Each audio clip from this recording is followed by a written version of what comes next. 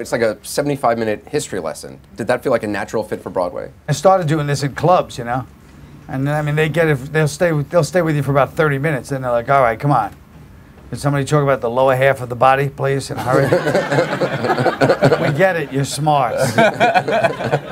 Well, Jerry, you've been following this comedy for a long time. I was thinking the other day we were talking about it and uh, what you know why we've worked uh, well together in this, and, and I came up with that I'm very smart about being funny, and he's very funny about being smart. So uh, it was a, a good uh, blend of skills. I kind of challenged him to come up with a form, and he did. And then once he did, I was kind of stuck getting involved with it. Has the show changed in- coming to Broadway? Have you?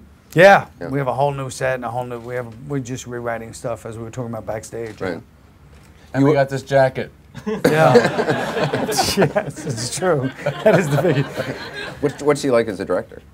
He's great. I mean, he really gets into it. I thought, I thought he would just be like a figurehead. Uh-huh. You know, I thought he'd help with the writing, but then he actually gets out there and has all these great like stage moves and stuff. Just gets up like a real director and it's like, "Hey, man, what about try this?" Starts walking around. I'm like, "That's really funny." You know, like all this interesting stuff. How'd you know how to do that? I did a sitcom in the 90s. And, uh, Like, uh, yeah, like Larry King, I'm not familiar with it.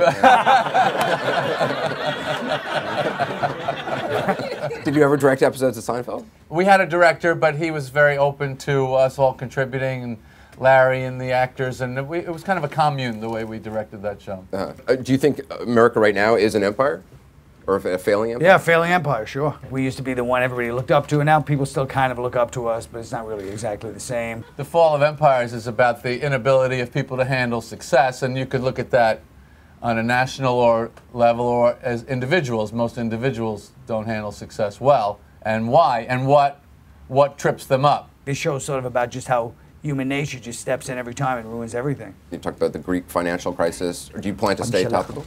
Yeah, sure.